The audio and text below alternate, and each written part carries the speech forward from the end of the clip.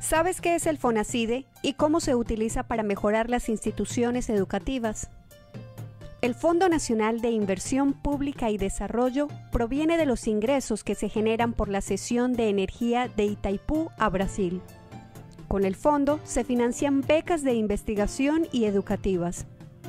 Una parte también se destina a inversiones de infraestructura de las escuelas del país y al almuerzo escolar. Pero ¿cómo se usa ese fondo?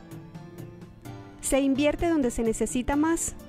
Para responder estas preguntas, ingresa a fonacide.mec.gov.py slash Contralor Fonacide.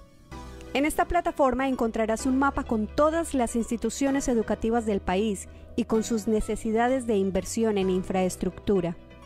Puedes alejarte o acercarte para explorar mejor el mapa.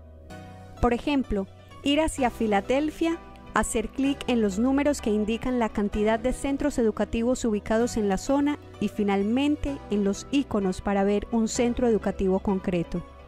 Hace clic, por ejemplo, en la Escuela Rural San Marcelo y verás que allí en el 2016 se solicitó la construcción de cuatro aulas porque las paredes de adobe están deterioradas.